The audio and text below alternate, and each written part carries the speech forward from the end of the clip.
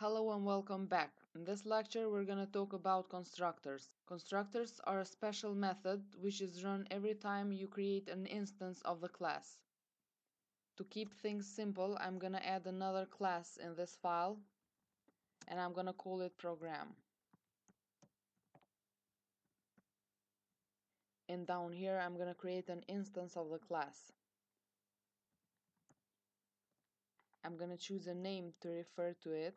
I'm gonna say my program equals to new program.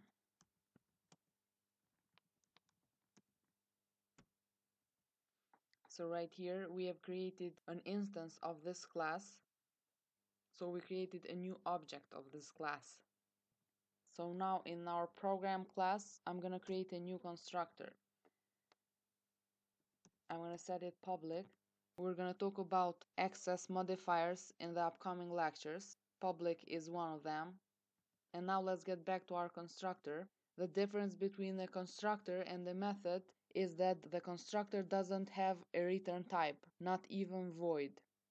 So a method must have a return type, whilst the constructor cannot have a return type.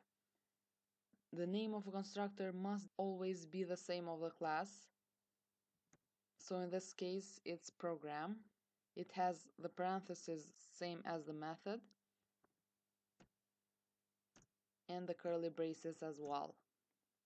Constructor must match the name of the class, so the first letter should be uppercase. So I'm going to create here a sysout just to see when this constructor is running and I'm going to call it first constructor. So if I run this class, we're gonna see the first constructor on the console. The constructor would run even if you would just type new program, parenthesis and semicolon. So if we run this, the constructor will run again. So it's this part of the statement that makes the constructor run. So this is the important bit.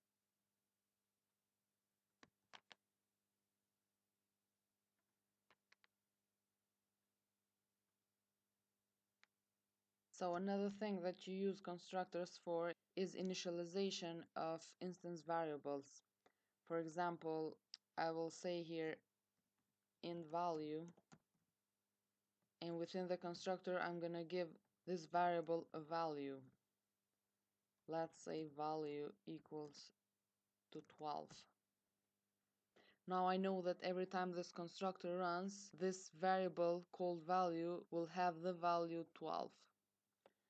Now, just like methods, constructors can also have parameters.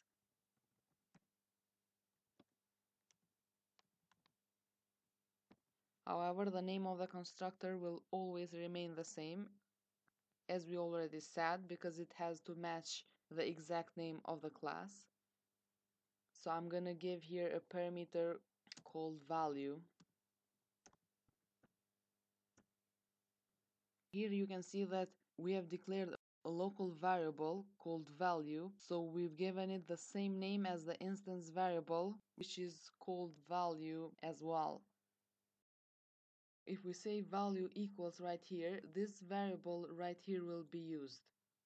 So as you can see uh, local variables mask the instance variables. So in the scope of this constructor if we say only value this parameter right here will be used and you may be tempted to say value equals value and you might mean that you want this instance variable equal to this local variable but that is not how you do it. That is what we use this keyword for. So we should say this dot value. This dot value refers to the instance variable and it sets it equal to this parameter right here. So now the value of this parameter equals to 12. So that is what we use this keyword for. Then I'm going to add the sysout statement and I'm going to say second constructor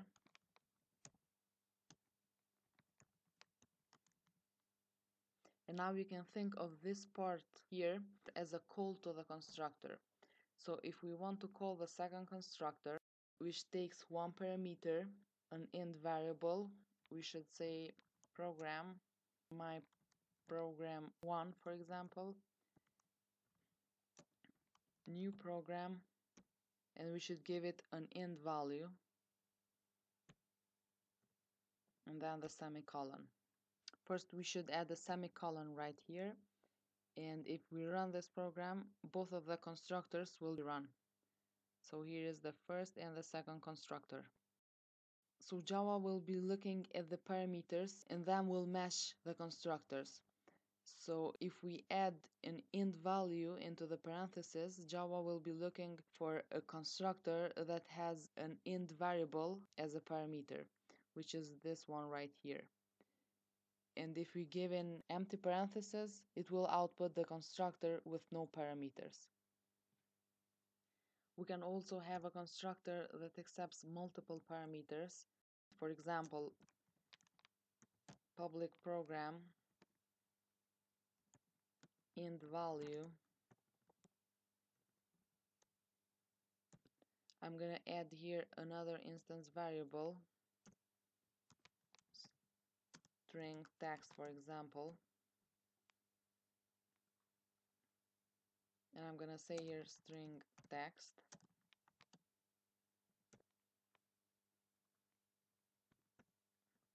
Then I'm gonna set these local variables equals to our instance variables.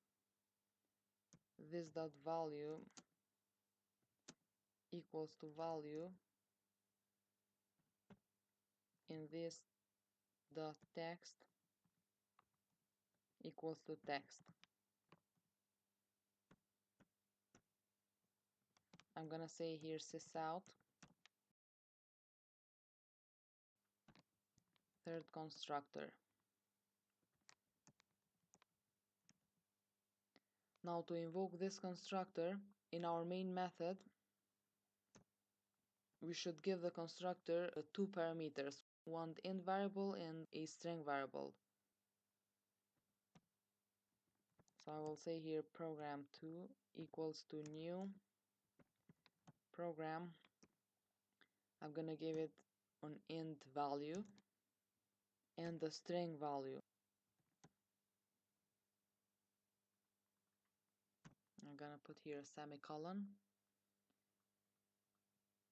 So now if I run this all of the constructors will be called. So here we added the third constructor. You can see the Java is selecting the right constructor depending on the parameter list. So another thing that we're gonna mention in this lecture is that sometimes we wanna call a constructor within another constructor. So if we would like the second constructor to be called whenever we call the first constructor, we should say something like this.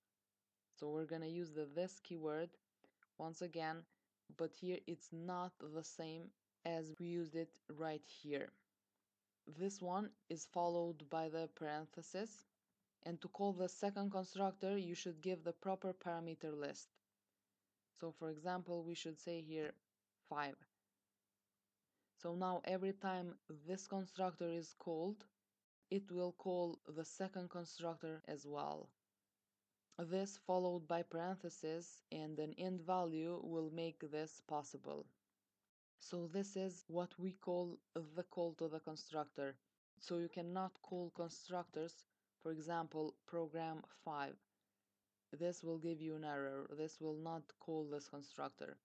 The only way to call constructors is by using this keyword or the super keyword followed by parentheses which we will talk about later on when we will learn inheritance. But for now this is the right way to call the constructor.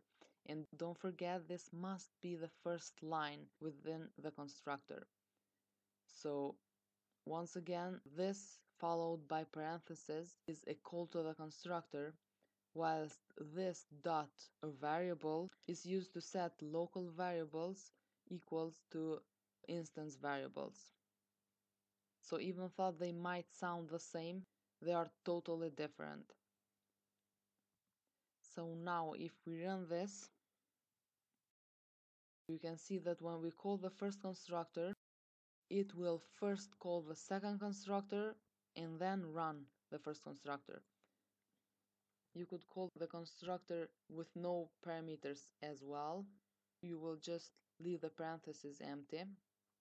So as you can see right here, the first constructor is called from the third constructor as we said this followed by parentheses, the call to the constructor must be the first statement.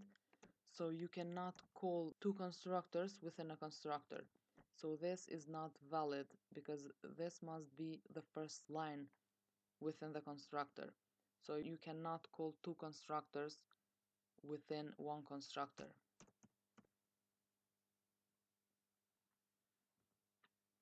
So that's it for the constructors. I'm gonna see you in the next lecture with more interesting stuff. So see you there.